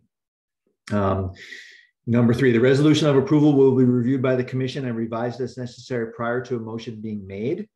Um, and this is where Ty, Ty's comment from just a minute ago is important because our commission should um, work towards a resolution of approval first.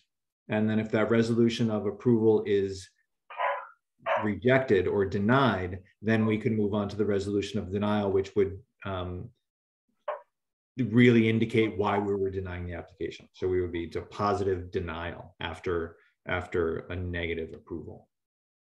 Um, so um, so number three is the resolution of approval will, will be reviewed by the commission and revised as necessary prior to a motion.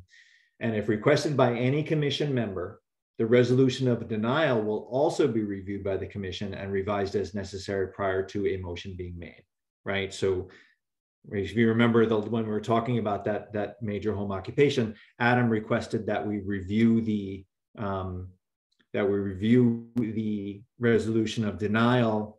Um, I told him that I wasn't sure it was necessary because the balance of the commission was, it seemed to me feeling that they were leaning towards, they were leaning one way. But I think that because Adam had suggested it, that, that in the future, anybody who requests that we read it and, and review it, that we just do it without question.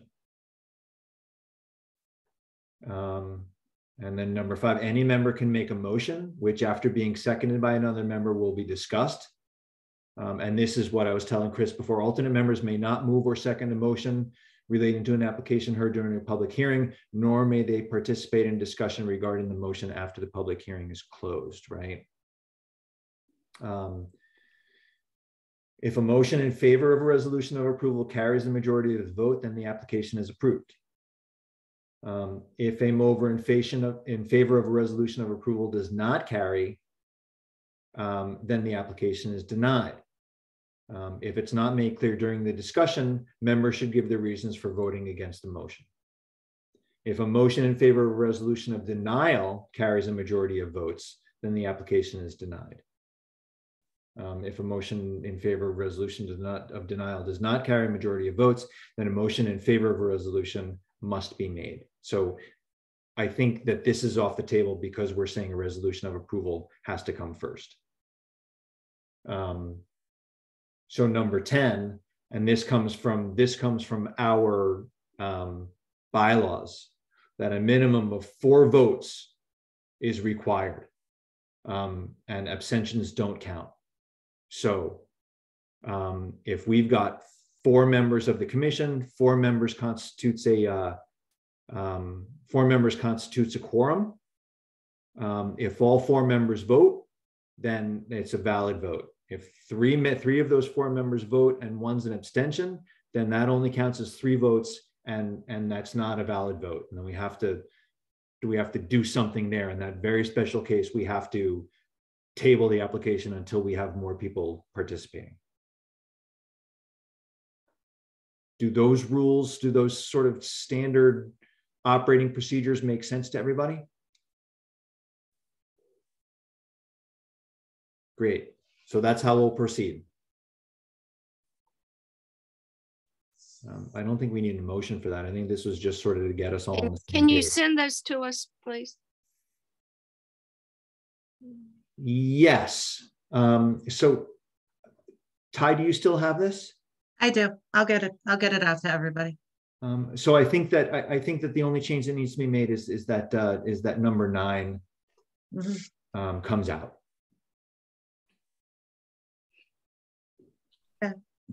Okay. Good. Yep. I'm gonna stop sharing my screen. And any more discussion? Anybody have anything else to say about that SOP? Okay, great. Other communication and correspondence. Agenda item number nine, getting down there. Administrative permits and certificates of compliance. Any comments or questions for Ty um, from the information that was in the packet? Um, 9B, the quarterly newsletter. Ty, anything that uh, you want to highlight? No, nothing really stood out. I read it, but I'm, you know, nothing stood out. It's there for you if you want to read it. Okay, uh, 9C, the Connecticut Federation of Planning and Zoning Association. I think that's what it is. No. Yep. Yes. Yes. Yes. Um, Connecticut Federation of Planning and Zoning Agencies. Agencies. Is that yearly meeting, annual conference that they have. Um, it's your invitation if you'd like to join. Um, it's also a length of service awards presentation if you have anybody you want to nominate. Um, so let me know if that's something you're interested in um, going to and I can get you signed up to go so this is the executive director of this organization is is is Stephen Byrne, and Stephen is the guy who runs the uh, the the Clear the UConn Clear Academy, and he's he's the guy who, who puts together that that training that we are talking about earlier. And he'll he'll actually come out and train you personally if you if you'd like. He offers you know private classes to you know the commissioners if you have a topic he wants to you want him to speak on. I went to this last year, and it was uh, you know this this was when they're talking about the the the new um, legislation that came out after the the 2021 legislative session. Um, and it was interesting, you know, that's where, where they talked about parking and the, and this new training protocol. Um, so I thought it was worthwhile. Um, although I did go, I, I didn't go for all the the hoopla, um, just went for the talking after the dinner. Um, okay, so um, agenda item 9D is the Desegregate CT request.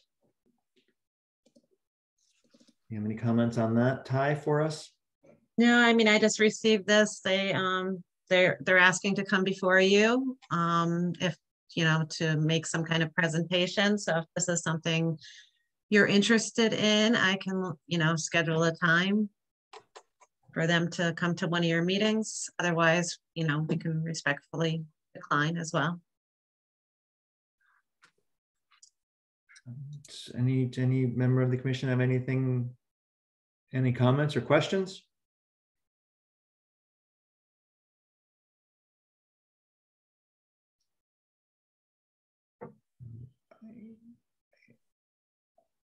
I, for one, thought about this quickly, but then didn't have the bandwidth. So I'd like to keep this on the agenda for next month, if that's okay, and we can make a um, an affirmative um, declaration um, next month. Is that all right with everybody?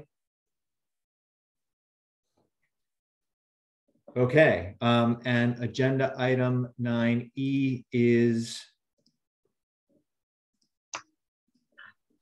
um, Kent Falls Brewing Company uh, notice of possible violation. This is this is a, a, a discussion, um, generally a discussion that we want to have with um, the commission and the applicant. Um, I am not sure that it's appropriate for the public to comment because it's not a public hearing, but I would be willing to hear what the balance of the commission had to say, or Ty, if you had any opinion. Um, well, I mean, just as far as the reason why it's before you, as you may know, that um, Barry had gone before the selectmen to ask for a food truck on the property. Um, that kind of triggered some questions about the existing special permit that's in place and what was allowed and what wasn't allowed. And um, I was asked to dig into the file and kind of, you know, figure out what that was. Um, there have been some modifications along the way. Um, and basically I came out of that with some things that look like violations. So I sent out this um, notice of possible violation to get this kind of conversation going. It kind of calls out the different um, issues that I saw. And, you know, maybe you guys can provide some clarity on that. And I know um, Barry and David both came forward very quickly um, to, you know, explain and talk about it and try to come into conformance with whatever was required and whatever was agreed agreed to and maybe you know move forward with a, a better understanding. All right. Thanks ty. So there are i think two special permits um, on the property that are germane to the discussion and one is the uh, one is the tasting. Um, and one is the and the, and the tasting came about as a modification to the original special permit to allow for um, a tasting room on site. Um, and the other one is the farm stand. Um, that was a separate special permit application that came in between the the the, the first um, approval for the brewery and the second approval, the second and the modification to the brewery to allow for um, for tastings. Um, and then uh, just as another quick note, um, some of the and I'll call it testimony because it was in the public arena that that uh, that um, Barry you gave um, during the selectmen's meeting, the select board meeting, um, indicated that that uh, both of those things, both of the the approvals were um, uh, were being, for lack of a better word, violated. So um, I think that what we should do now is ask Barry to let us know what he's doing with the tasting room and what he's doing with the farm stand um, to see whether we can't bring him back into compliance with his special permits. Sure. I have a question, a quick question, Matt, before we proceed. Is it a farm stand or is it a farmer's market? It's a farm stand. What they have approval for is okay. a farm stand. It's not a farm store. It's not a farmer's market. It's a farm stand. And it's important, it's important to remember that when they came before us um, for the for the special permit for a farm stand, we were operating under the, the regulations that were from 1993. So you have to, in, order to understand what their, how their approval, um, what they have approval to do, you have to go back to those regulations. And, and look at the definition of a farm stand per those regulations. Okay, um, then does any other, do any commissioners have anything else uh, they'd like to say?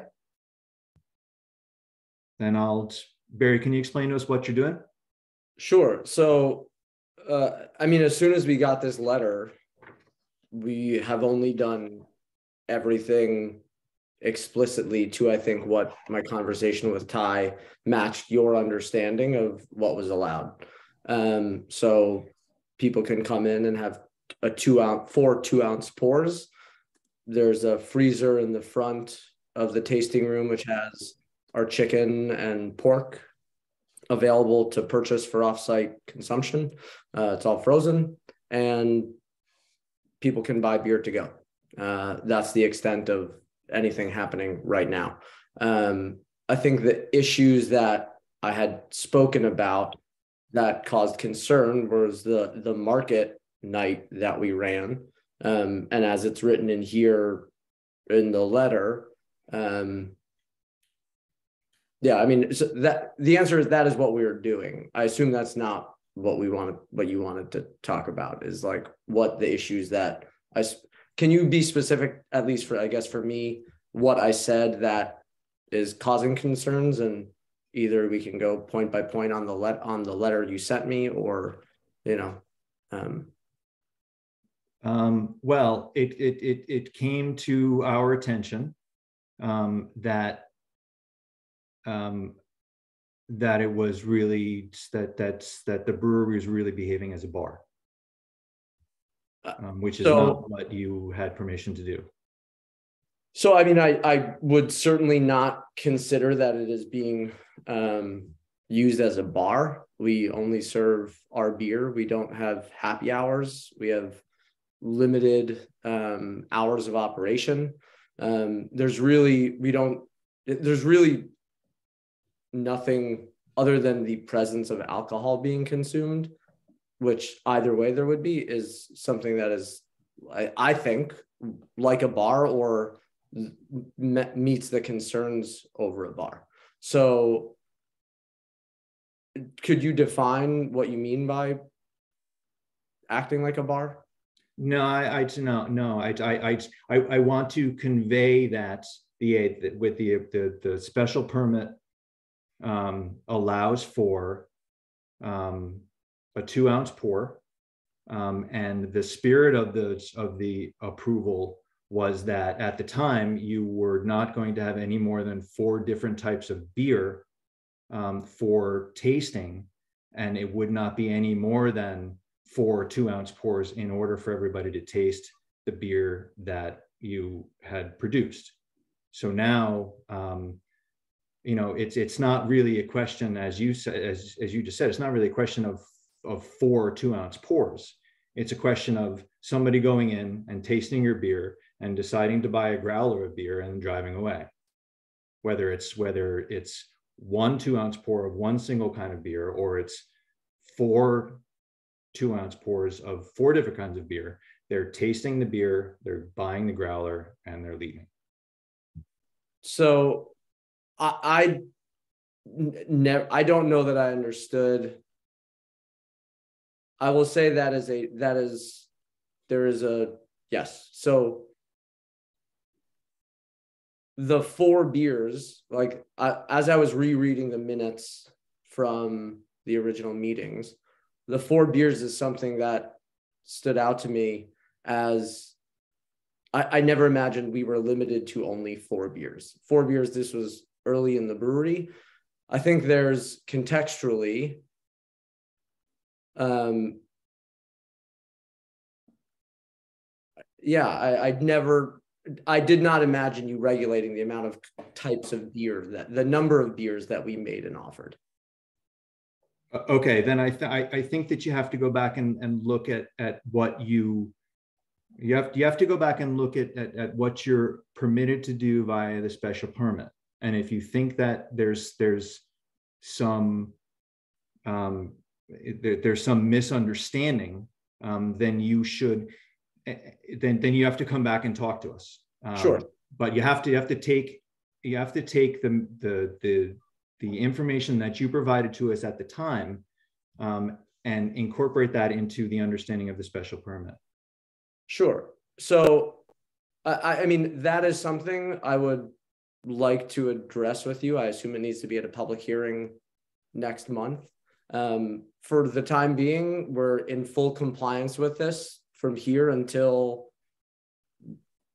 something changes, right? Like, if there was any misunderstanding of that element of the permit, there is no longer. Um, you know, so like that, that, that is totally fine. I'd rather not read, relook at what does four beers or five beers and how many ounces per beer, whatever it might be. Like we're sticking to the letter of the rules of what's there. Um, and I would, I don't know if this is the forum to request the special, the public hearing to uh, address this or make a new request, or that needs to be done by official letter or what. But I would, I would happily address that with you, or if you are open to discussing it here, I'm open to discussing it and kind of talking about the substance of of things. Yeah, I would, I, I, I would suggest, and I'll, I'd, I'd look for, for comment and input from the balance of the commission, but I would suggest that if you want to do something that's different than, than is approved by the, by the special permit, then you should apply for a modification to the special permit. Um, Okay. And then that way you can, you can tell us exactly what it is that you want to do. Sure. Right, and then, and then we can, we can look at that as a modification of special permit. It'll be a public hearing. Um, we'll ask all the questions that we have to ask as part of that, uh, as part of the, the site plan approval and, and, and special permit application. Um, and then we will, uh, ask for a public comment and then we will, um, deliberate and decide how we want to manage. Okay. I think, I think Uh, that's the best way, which I, I, I don't, I don't mean to say that, that what you want to do. Um, I don't mean to say at all that what you want to do is objectionable. Um, but what you have been doing is not, doesn't, you know, satisfy the letter of the, uh, the I, I I totally appreciate what you're saying, and and I hope you know upon receiving this letter, there's obviously like a lot of concern. If you think we're in violation, that's the last thing we ever want to be. Um, you know, the you said in the beginning that my going forward for to the addressing the food truck ordinance was what kind of brought this about.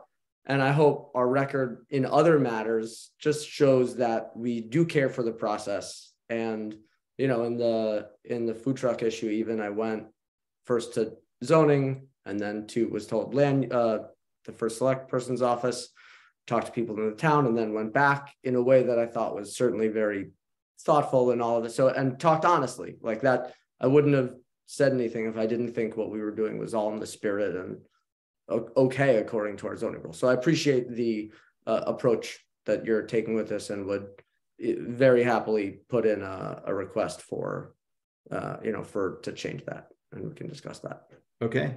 Okay. Yeah, that that that that's great. I mean, that that satisfies me. You know, one one of the things that that that piqued my ears um, during in listening to the recording of the the select board meeting was the the description of the of the items that we were selling in the farm stand, um, which um, doesn't quite equate to uh, things produced on the farm, right? So it's the you know so that's that that was a, a couple of things that you said in the spirit of this openness and honest honesty which which i applaud you for Barry. Um it's just you know it's it's that came out and seemed to um indicate to us that that we were a little bit off the rails here and we just wanted to bring it bring us every everybody back into an understanding Totally, totally, and and, and you know the if I had, I would, I reading the uh, it's you know where we have the hundred fifty five thousand gallon cap on production, and we're realistically capped well below that just by seeing knowing what the land can take, you know, our well and all of the things that I don't need to like ramble on about. But you know, uh, definitely it's hard to get 100% of everything right super early on before you do it. And uh, I, yeah, I have nothing but being forthcoming about the things we're doing.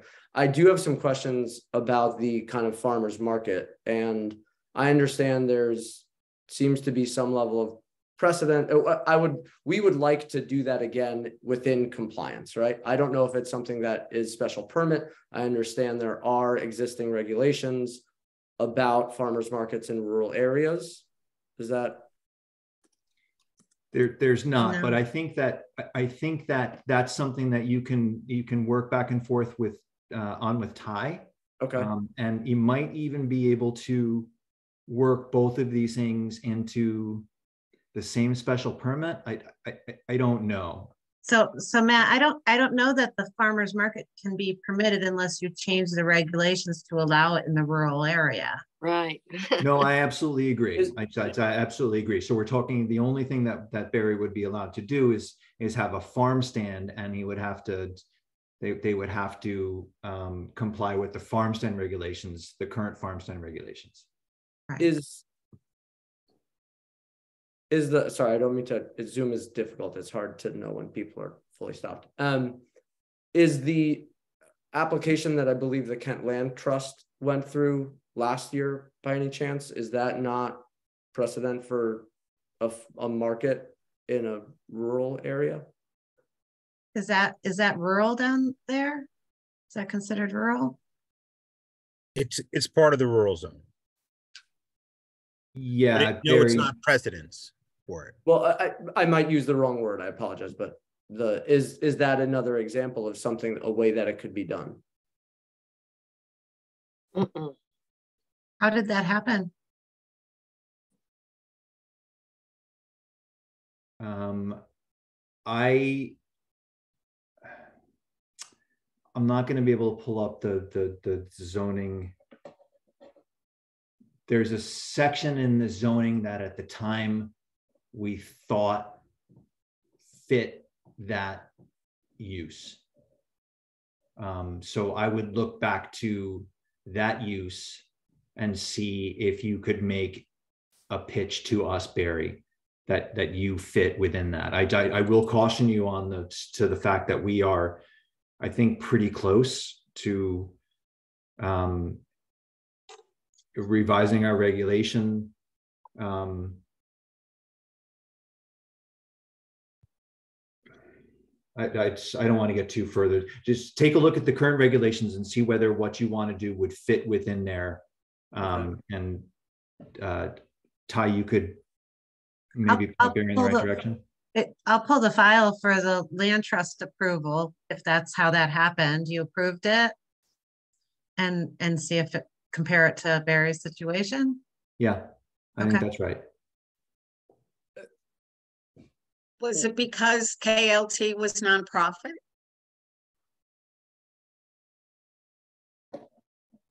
It, it, no. So let's look. Let's look back and see why why it happened, yeah. and not guess at it.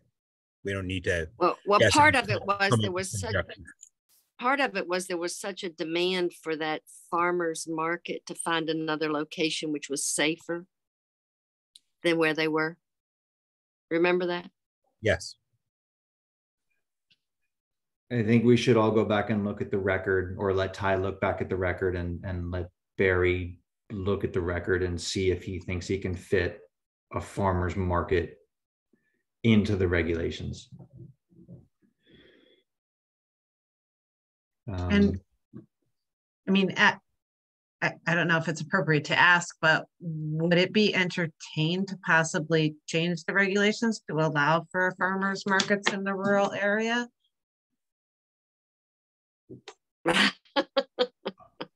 I don't think so. Okay. Yeah, I, I, I, you know, it's, it's, it would be worth a discussion. I'm not sure how, how many legs that would get um, based on what I understand from the direction that the commission is going with regard to um, the, uh, the the changes that we are contemplating and, and close to, I think, uh, uh, agreeing to. but again, I think that I, I think that there should be this this review of the regulation um, by Barry with some help from Ty to see whether whether he thinks he could find some way that the farmers market fits there, um, if that's what you want to do. Um, and until then, we know that you have to be behaving as a as a farm stand selling items that are produced on the property within your um, within your liquor permit right i know those are separate things but you know it's i don't think you can have growlers down uh, on the side of the road for people to just come in and drop $10 in the pot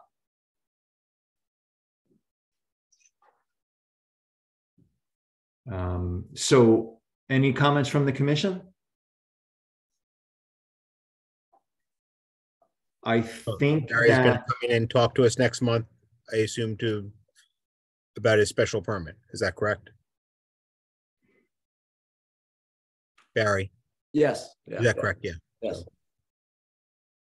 um, and I think because of that, um, bec- because of number one, um, Barry is, is generally agreeing um, that he's going to work within the, the confines of the, of the two special permits that he's got. Um, and because he's going to be coming forward with a, with a, a possible request for uh, to modification of the special permit, the public will have a chance to weigh in at that point. Um, I think it's fair to uh, put that that public commentary off until Barry actually makes his uh, his application, and we can we can discuss it in in in our normal fashion. Is that fair? Does that sound fair to the balance of the commission? Yes. Okay, I almost want to make a motion. Can, can I ask one, one final question Of course, Alice. on this? Um, uh, with regard to entertainment, I am a little bit confused. The regulations don't give a lot of guidance as to what's allowed where.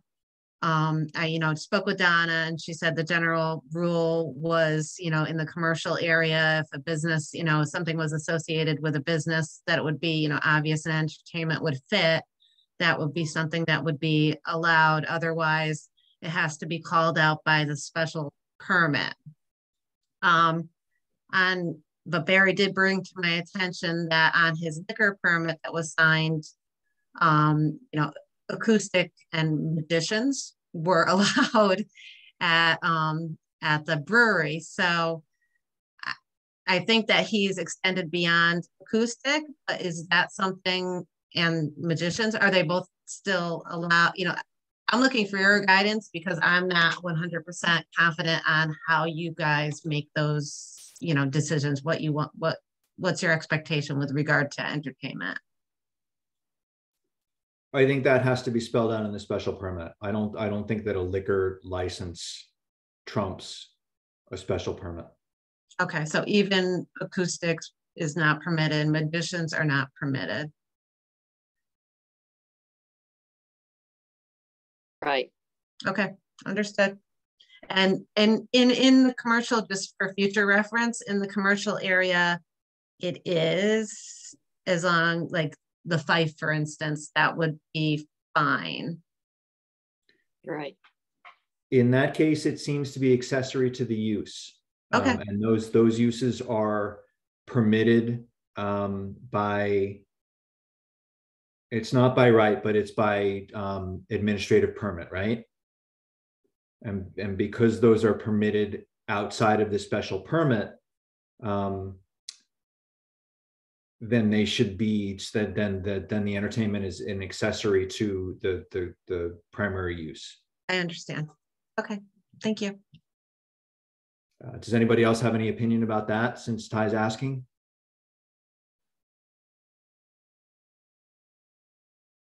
Okay. Um, so Barry, you have, uh, do you, do you have a clear, a clear understanding of, of sort of where we are?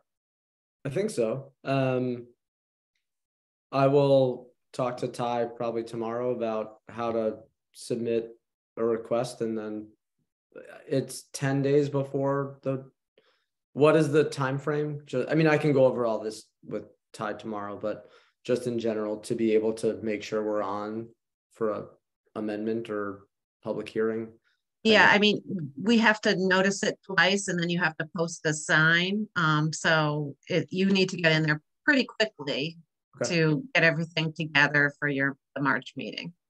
okay that won't be a problem